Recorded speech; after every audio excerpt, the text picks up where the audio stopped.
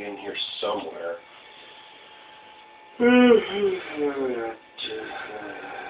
ah, my emergency beer. Last fucking one. Nice and cold.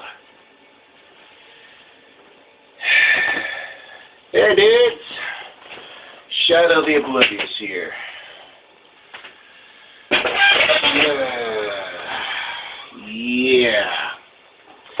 Been a little bit since my last video. I'm kind of just trying to think of new content ideas while I'm, uh, you know, busy working. I'm a hard-working Joe, that's for sure. And you're probably wondering why I don't have my shades anymore. My shades bit the shit, so now I have to suffer my lighting on camera shadeless.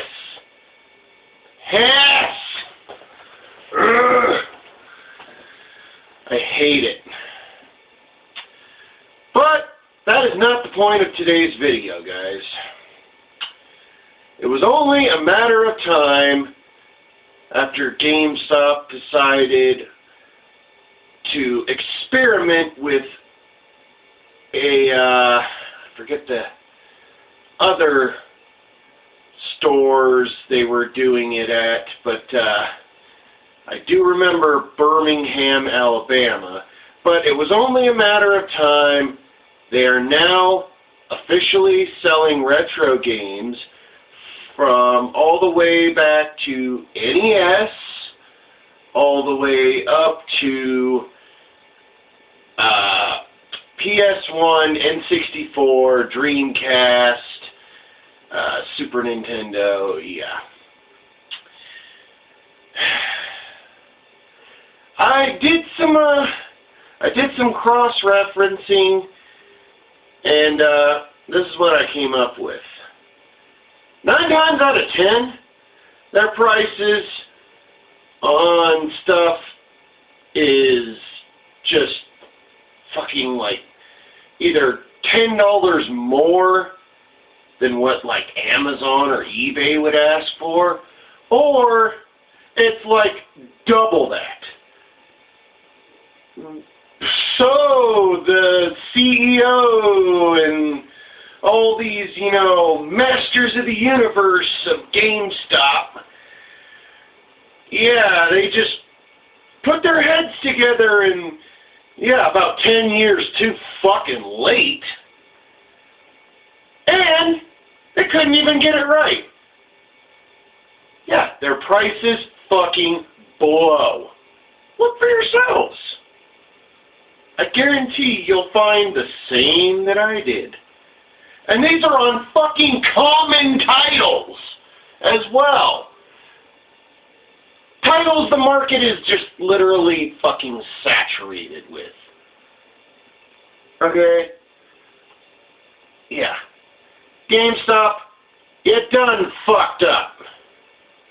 Holy fucking shit, seriously. You you couldn't take the two brain cells you had between all you guys and, and just rub them together, get that little fucking spark, use what's left of you guys' fucking head meat. Nope, nope, nope, nope. Wonderful business opportunity, fucking squandered. That's right, you squandered it.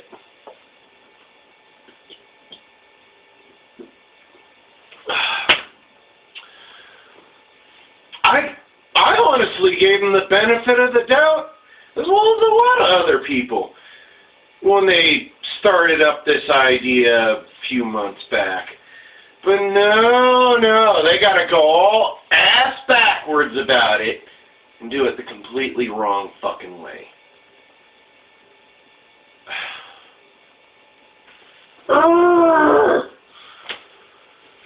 Just, God it makes me cringe that just boggles my fucking mind how stupid they went about this.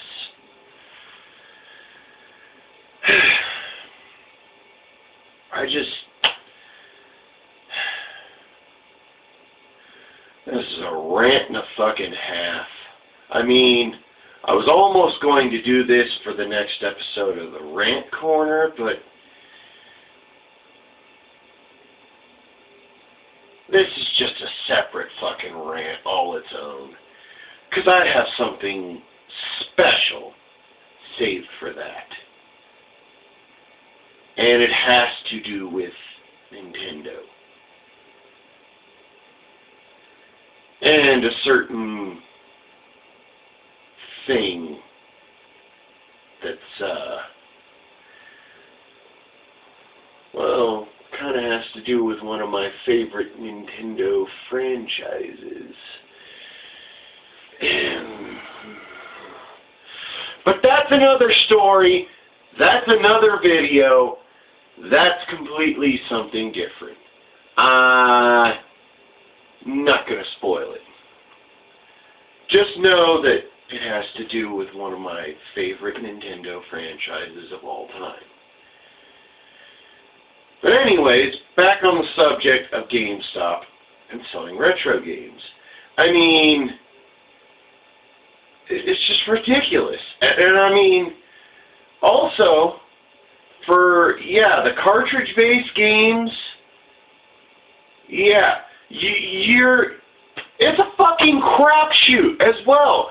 You don't know whether you're going to get a cartridge alone that looks like shit, or a complete in-box item, or just a cartridge and maybe a manual. I don't fucking know. It's a fuck. It, it tells you nothing.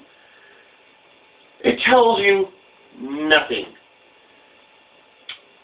Also, they're taking out of the disc-based games, disc only. Yeah, so that's an even worse crapshoot. Uh, I don't exactly. I mean, I do have quite a few disc-based games, but they've got their own little slip covers, or I've got a replacement case to hold them, protect them from further damage. But I really would like to upgrade these to, like, well, actually, a few of these up here I can't upgrade because they don't have their own case. Like, uh, for example, I don't believe Link's crossbow training here has its, because it was a pack-in with Wii systems. It was a bundle to promote the new, you know, Zapper peripheral. So I don't think I can upgrade this to a full-on case. Anyways, I'm getting off fucking topic again. Fuck that shit. That's another time. Anyways, yeah, it's a fucking real crapshoot. It's just, they went, uh, they blew it. They had a perfect business opportunity, finally breaking into the retro game market and seeing, you know, for what it's worth. And they blew it. In my honest, humble opinion, they blew it. And they blew it, and they blew it. Every fucking turn, they blew it. Either they rub what brain cells they have collectively between them together and get that little spark and stop fucking up and try to fix this and improve this, or this little experiment of theirs is going right down the shit chute. And I don't think it's going to go any further than the test market. So, anyways, guys, opinions, thoughts, shit like that. Look, it's late at night. Uh, I gotta get up early. So I'm gonna end this shit like I end all my shit. As always, nerds, nerdettes, gamers, and weirdos of the web, game the fuck on and party the fuck on. I'm out. Bye!